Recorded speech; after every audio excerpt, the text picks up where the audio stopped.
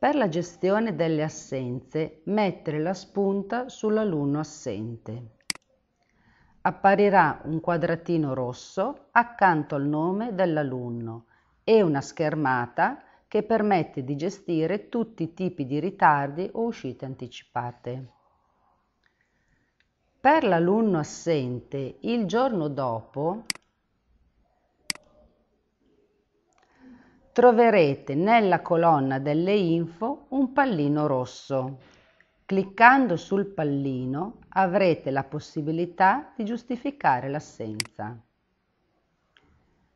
Cliccare su giustifica e salvare.